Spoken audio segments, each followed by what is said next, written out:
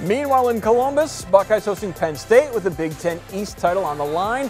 Earlier this season, collective thought was Cincinnati or Michigan State would provide a good test and that Wisconsin would be a four quarter game. Well, that didn't happen as OSU has blown out everyone that they have played, winning by an average of more than 40 points. Now, when asked following the Rutgers blowout if the Buckeyes would be ready for a four quarter game against Penn State or Michigan, J.K. Dobbins, who only has 14 carries in fourth quarter games this season, asked who said those games will have to be close. Confidence as head coach doesn't necessarily share.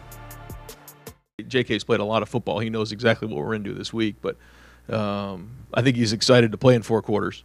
You know, he's it's been a you know it's been a, a couple weeks since he's he's been able to do that. So, um, you know, he's obviously very competitive and can't wait to play in the game. He's looking forward to it. Uh, I'm excited. I mean, we're all, uh, in the O line room specifically. We're all super excited. I mean, it's you know everyone says like the the tests haven't come yet, but um, I mean, whatever you put in front of us, we're excited for an opportunity to go out and prove what we need to prove.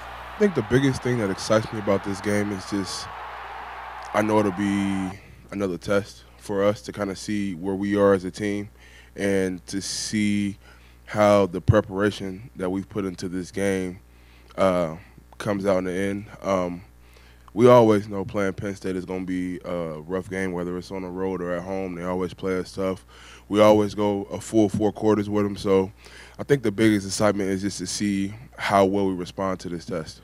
Coach Day, everybody knows he's a great coach. Uh, he's probably one of the best coaches in the nation. So um, uh, every time we face a defense, I have confidence in him that he'll find an answer for us to come up with to beat that certain type of defense. So uh, really, I think the biggest thing for us is to just put all of our trust in him and just uh, knowing that he'll lead us to the right path. And as long as we execute, go out there and execute the play, uh, that everything will be okay.